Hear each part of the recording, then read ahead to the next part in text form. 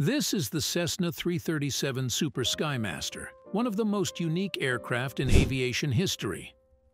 Renowned for its unique centerline thrust twin-engine configuration and push-pull configuration, it stands out in the general aviation sector for its distinctive engineering and performance characteristics. The aircraft's engine setup, involving one engine in the nose and another in the rear fuselage, eliminates the conventional issues related to asymmetric thrust that are common in traditional twin-engine aircraft. An innovative design makes the 337 particularly appealing to aviation enthusiasts and pilots who appreciate the combination of safety and performance. Introduced in 1963, it was a substantial upgrade over the 336.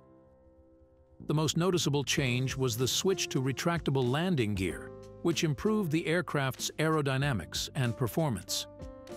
The 337 initially came with two Continental IO360A engines, each producing 210 horsepower.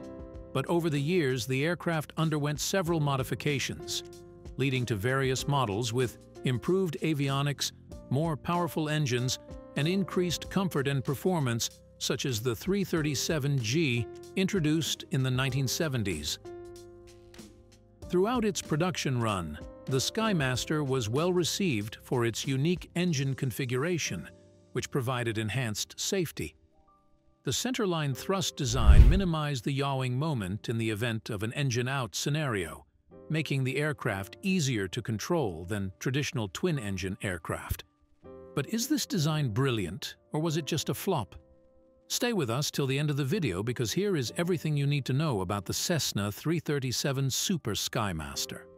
Stepping inside, the cabin width and height, at about 3 feet 10 inches or 1.17 meters and 3 feet 8 inches or 1.12 meters respectively, provide a comfortable space for 4 to 6 occupants, including the pilot ideal for both leisure and business travel. Accessibility to the cabin is via a single forward hinge door on the co-pilot's side, which is sufficiently wide and tall to allow for easy entry and exit. The ingress and egress are straightforward thanks to the low wing design that necessitates minimal climbing. The seating arrangement is noteworthy.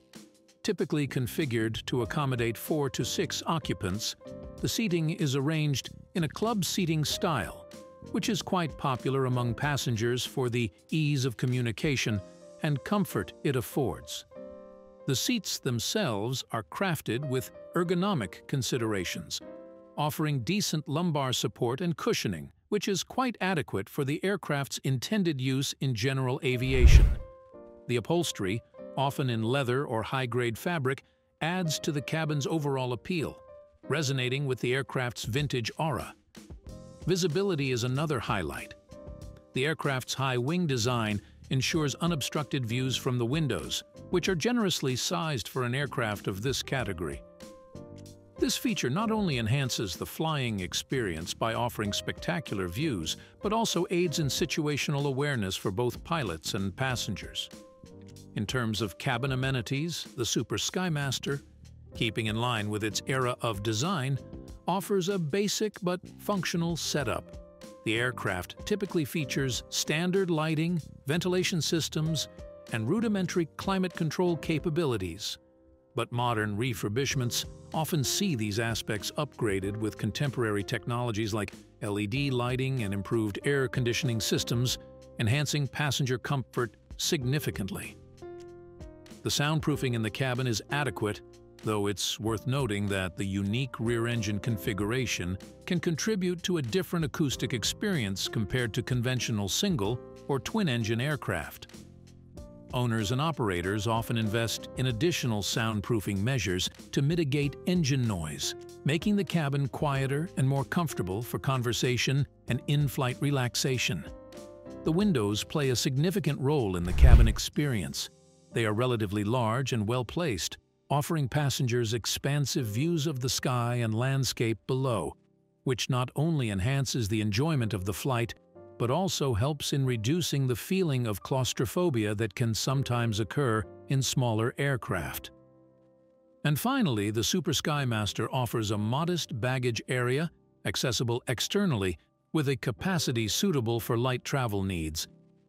It's not overly generous but aligns well with the aircraft's general aviation role, accommodating bags and equipment for weekend trips or short business jaunts. Now let's step into the cockpit. The instrument panel in its original configuration is a classic representation of 1970s-era avionics and typically features an array of analog gauges and dials that provide the pilot with essential flight information. The panel layout is straightforward, with flight instruments arranged in the traditional six-pack configuration, which includes the airspeed indicator, attitude indicator, altimeter, turn coordinator, heading indicator, and vertical speed indicator. The center console houses the throttle, propeller, and mixture controls for both engines, arranged side by side, which is intuitive for throttle management, and the overhead panel typically contains switchgear for lighting, engine starters, and other ancillary systems. The engine instrumentation in the Super Skymaster is notably more complex than in single-engine aircraft due to its dual-engine configuration. The instrument panel includes separate gauges for each engine's RPM, manifold pressure, cylinder head temperature, and exhaust gas temperature, along with standard fuel, oil pressure, and temperature gauges. This setup demands a more meticulous monitoring process, befitting pilots who relish in detailed engine management. In terms of avionics, original factory models of the Super Skymaster came equipped with what was then standard, basic communication and navigation radios, such as VOR receivers and basic GPS units. However, many Super Skymasters have been retrofitted with modern avionics, transforming the cockpit into a state-of-the-art control center. A popular upgrade is the inclusion of a Garmin G600 or G500 flight display system, which integrates primary flight information, including attitude, airspeed, and altitude, along with synthetic vision technology, providing a three-dimensional depiction of terrain, obstacles, and traffic Another common retrofit is the addition of a Garmin GTN 650 or 750 GPS slash nav slash com system, an all-in-one unit that not only serves as a GPS navigation tool but also integrates radio communication and VORLS navigation capabilities. For engine monitoring, the JPI EDM 700 or 800 series engine monitors are often installed. These digital systems provide comprehensive engine data including cylinder head temperatures, exhaust gas temperatures, fuel flow, and other critical engine parameters. Autopilot systems are also a common addition, with the S-TEC System 55 or 60 being popular choices. These autopilots offer features like altitude hold, vertical speed control, and GPS steering, greatly reducing pilot workload during en route phases of flight the integration of modern avionics in the Super Skymaster's cockpit not only enhances the flying experience, but also significantly increases situational awareness and safety.